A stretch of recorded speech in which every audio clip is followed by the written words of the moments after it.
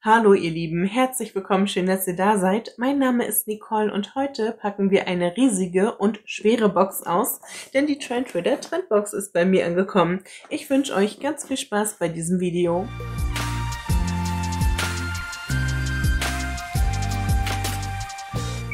Die Trendrider Trendbox ist eine nachhaltige Lifestyle-Box, die monatlich zu euch nach Hause kommt. Sie enthält immer mindestens sieben Produkte aus ganz unterschiedlichen Bereichen wie Fashion, Food, Wellness und Design und die wollen uns einfach ein bisschen ein nachhaltigeres Leben näher bringen. Die Trendrider Trendbox kostet 30 bis 35 Euro pro Box, je nachdem für welche Abo-Form ihr euch entscheidet und solltet ihr ein Jahresabo wählen, dann bekommt ihr sogar alle zwei Monate noch ein extra Goodie mit in die Box gepackt. Außerdem habe ich einen Rabattcode für euch, nämlich Butterfly15. Mit dem könnt ihr 15% auf der gesamten Shopseite von Trendtrader sparen. Sie haben dort zum Beispiel auch Einzelboxen, die man ganz ohne Abo kaufen kann, die dann nach ganz bestimmten Themen ausgerichtet sind, wie zum Beispiel Geburtstag oder rein Beauty oder so. Also schaut euch das unbedingt mal an.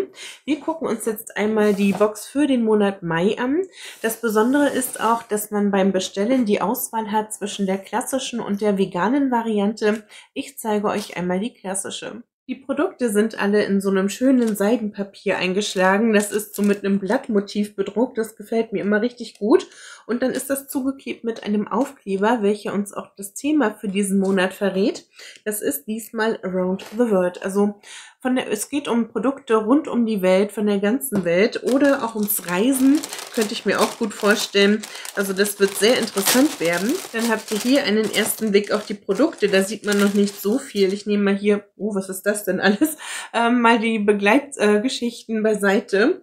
Und das sieht doch sehr interessant aus. Also, ja, wir gucken gleich mal durch. Zunächst habe ich einmal diese Karte hier. Da steht geschrieben, wir bedanken uns herzlich für die Kooperation mit dir und wünschen dir viel Freude beim Unboxing. Ganz liebe Grüße, Alisa. Vielen Dank, Alisa. Vielen Dank auch dafür, dass ihr mir die Box zusendet, sodass ich sie vorstellen kann. Dann habe ich hier noch eine kleine Karte, die hat jeder mit drin.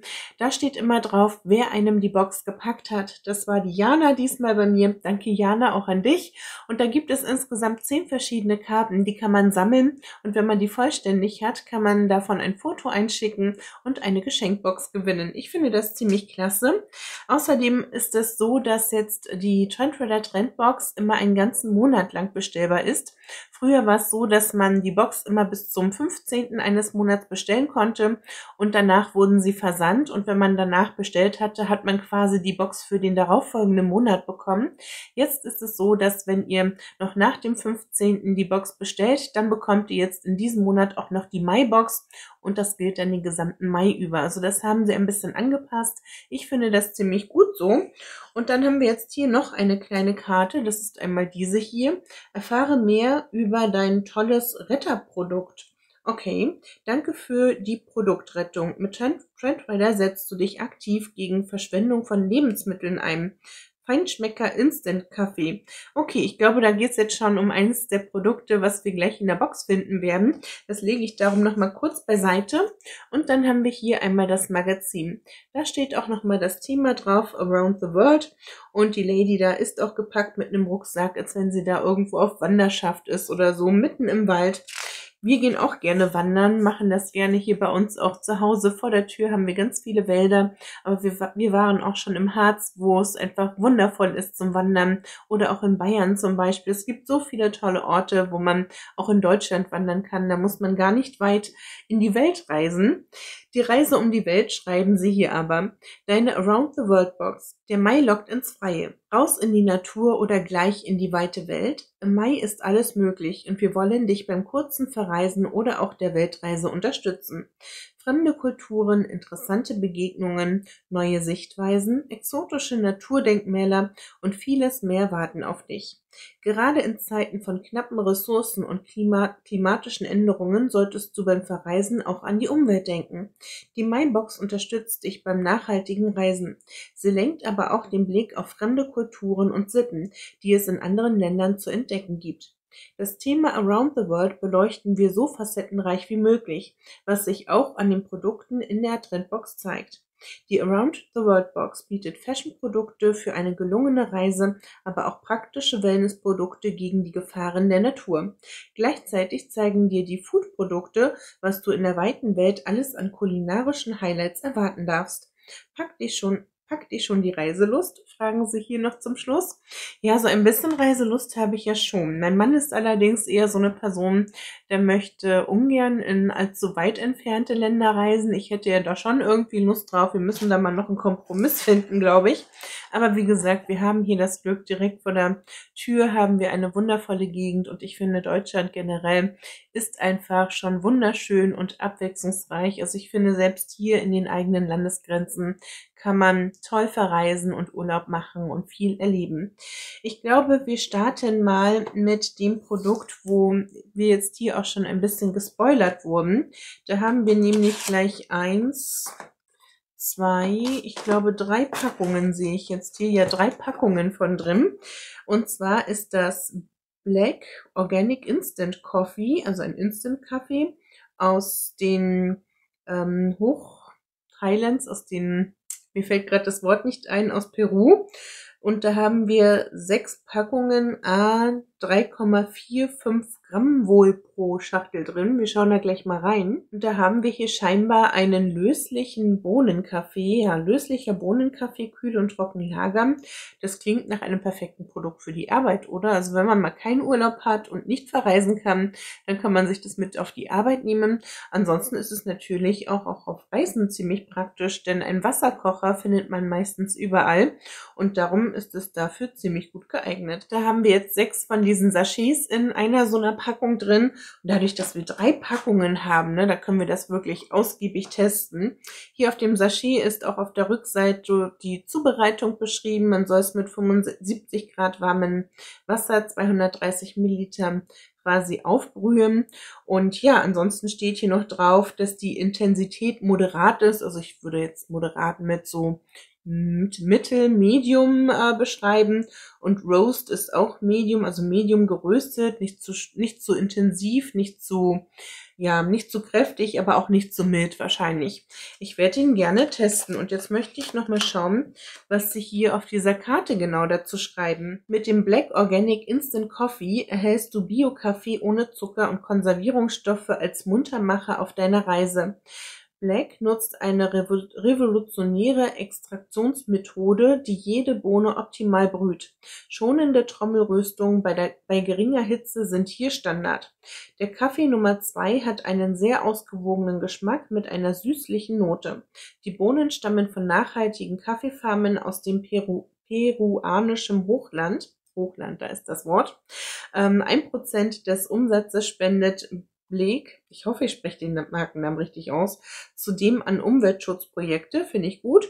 Trinke Kaffee für die Umwelt als Teil der Retteraktion erhältst du viermal Blick Organic Instant Coffee Nummer zwei mit einem sehr kurzen Mindestbarkeit, Mindesthaltbarkeitsdatum, was den Kaffee zu einer einem Retterprodukt macht.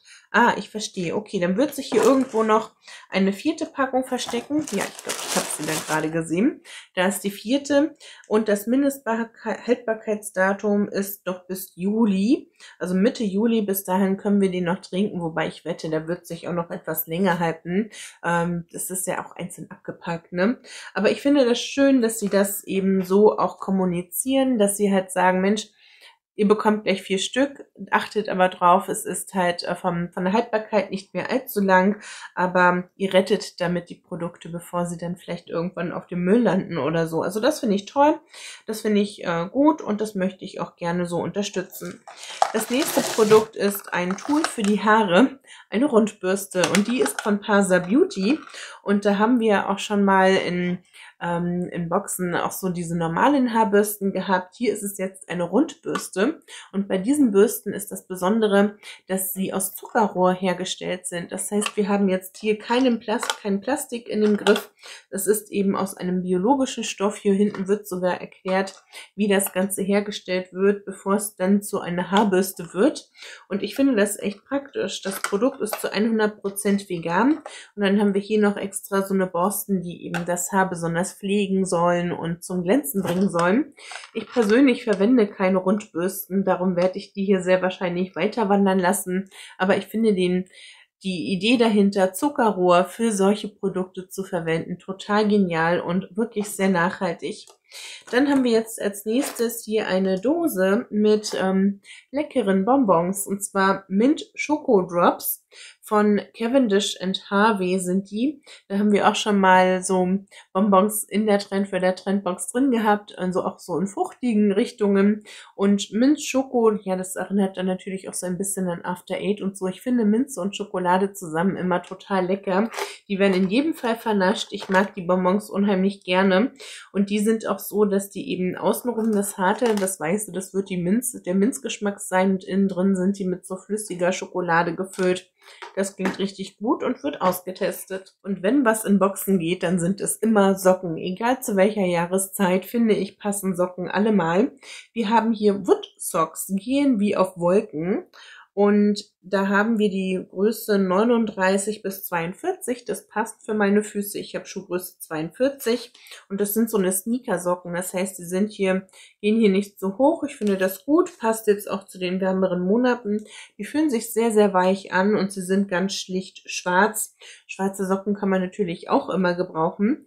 Spare 15% auf deine erste Bestellung. Code TrendTrader. Das blende ich oder ja, blende ich euch nochmal mit den Preiseinblendungen ein. Und dann schreiben sie hier, schade, es ist ein bisschen überklebt von dem Aufkleber, unsere holzigen Socken. Ich vermute, die sind ähm, aus Holz hergestellt und darum werden wir jetzt hier mal in das Magazin reinschauen. Sneakersocken gehen wie auf Wolken. Dank Socken aus Holz. Die nachhaltigen Sneakersocken von, wie spricht man denn das aus? W-I-J-L-D. Also ich würde jetzt auch sagen Wild, oder? W-I-J-L-D ich würde sagen bald, werden umweltfreundlich und vegan in Portugal gefertigt und bieten einen unbeschreiblichen Tragekomfort. Durch die einmalig weiche Sohle und die antibakteriellen Eigenschaften von Holzfasern begleiten dich diese besonderen Socken garantiert frisch und gemütlich einmal um die Welt. Haben sie passend geschrieben, oder? Ja, passt in jedem Fall auch sehr gut zum Thema, finde ich. Dann haben wir hier etwas äh, besonders sicher eingepacktes. Meistens macht Trendtrader das wenn etwas in einer Glasflasche oder so daherkommt. Ja, da haben wir regelrecht eine Flasche und zwar diese hier habe ich noch nie gesehen. Von Kloster Kitchen ist das, die Marke kenne ich. Organic Power Drink, Granatapfeltrink, das Original mit Ingwerstückchen, Big Shot, 12 Portionen. Je, ich bin nicht so der Riesenfan von Ingwer-Shots, muss ich sagen. Ähm, sie sollen gesund sein, sie sollen die Immunabwehr stärken und wirklich gut sein für den Körper. Ja, vielleicht probiere ich den mal so. Vielleicht in Kombination mit Granat, Granatapfel ist es vielleicht nicht ganz so scharf. Ich werde es vielleicht mal testen, aber ich lasse es jetzt für den Moment mal noch zu. 250 Milliliter sind hier drin und bei den Zutaten ist zuerst Wasser aufgeführt. Danach kommt schon die Ingwerstückchen.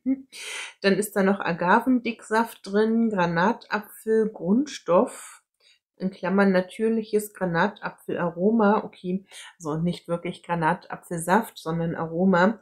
Aber ich werde es mal testen, denke ich. Mal gucken. Ich stelle es mir mal in den Kühlschrank. Vielleicht ist das ja gar nicht so verkehrt. Dann haben wir hier noch etwas so sicher eingepackt. Ich hoffe, das ist jetzt nicht eine zweite Flasche von dem Ingwer-Shot. Nee, da haben wir eine Soße und die sieht ziemlich lecker aus. Eine rote Soße von der Marke Naturata, mehr als Bio. African Spirit Soße. Exotisch scharf. Ja, klingt lecker. Man sieht auch hier so ein bisschen die Körner von der Chilischote stelle ich mir sehr gut zu Hähnchen und Reis zum Beispiel vor. Ihr passt auch in jedem Fall zur Sommerzeit, zur Grillsaisonzeit und ja, so unterwegs. Wir haben eben hier aus dem, aus dem fernen Afrika einen Geschmack drin. Also es passt auch irgendwie zum Thema. Ich werde die testen. Ich mag das gerne, ja. Dann haben wir als nächstes hier etwas von der Marke Madara Organic Skincare, eine Naturkosmetikmarke mit sehr hochwertiger und preisintensiven Produkten. Hier haben wir einen Sonnenschutz SPF 30 und das ist eine Age Defying Face Sunscreen Creme, also eine Ja, ein Sonnenschutz fürs Gesicht, der auch Anti-Aging-Eigenschaften hat. 40 Milliliter Produkt sind hier in jedem Fall drin. Und die Tube schauen wir uns auch mal dazu an. Plant Steam Cell steht hier auch noch mit drauf. Ich bin mir jetzt nicht so richtig sicher, was das zu bedeuten hat. Wir werden gleich mal lesen. Es ist ein Anti-Age-Sonnenschutz mit Pflanzenstammzellen, perfekter makelloser Look und breiter Schutz vor UVA, UVB-Strahlung und urbaner Luftverschmutzung. Passt sich dem Hautton an. Für alle Hauttypen geeignet. Nach der täglichen Feuchtigkeitscreme anwenden. Okay, du bist also bist du dann mit einer Tönung. Also hier steht jetzt vorne nichts mit einer Tönung drauf, aber wenn sie hier schreiben, passt sich dem Hautton an, dann bin ich da jetzt gerade ein klein wenig irritiert. In jedem Fall finde ich den Lichtschutzfaktor von 30 gut. Mm, ist für mich so ein Minimum an Lichtschutzfaktor. Weniger würde ich nicht verwenden.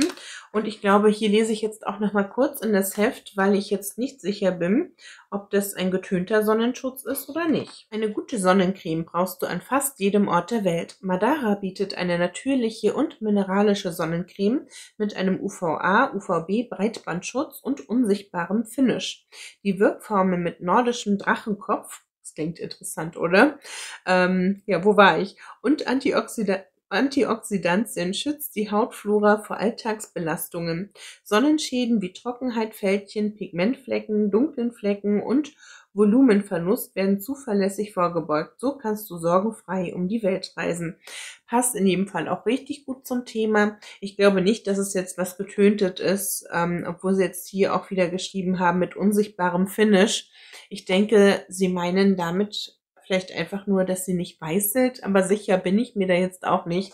Also wenn ihr das Produkt kennt und das schon mal ausprobiert habt, dann schreibt dazu gerne mal was in die Kommentare. Das nächste Produkt passt für mich auch gut zum Thema, denn wenn wir zum Beispiel auf einer Wanderung sind, unterwegs sind, in der Welt unterwegs sind, dann macht es durchaus Sinn, auch einen Snack dabei zu haben. Ich persönlich werde diesen Riegel aber mit zur Arbeit nehmen. Wir haben hier von Hey ein Oat Schoko Haselnuss. Das ist ein ja, Riegel mit verschiedenen Bestandteilen und eben einer Schokonote finde ich richtig gut. Ähm, ich kenne die Riegel auch schon, die schmecken lecker, finde ich toll, vernasche ich gerne und nehme ich mir eben wie gesagt mit zur Arbeit mit. Dann haben wir jetzt hier so ein Sachet, ein weißes Beutelchen. Nicole's Naturseifenmanufaktur. Ein Vollwaschmittel haben wir hier. Einen Esslöffel Waschmittel ins Waschmittelfach und einen Schuss Essig ins Weichspülerfach geben. Und viel mehr braucht man dann gar nicht. Das ist ja scheinbar wirklich eine ganz kleine süße Manufaktur, so wie das verpackt ist. Das sieht handgemacht aus richtig toll und Vollwaschmittel kann man auch immer gebrauchen. Also von daher werde ich das gerne ausprobieren und mal testen.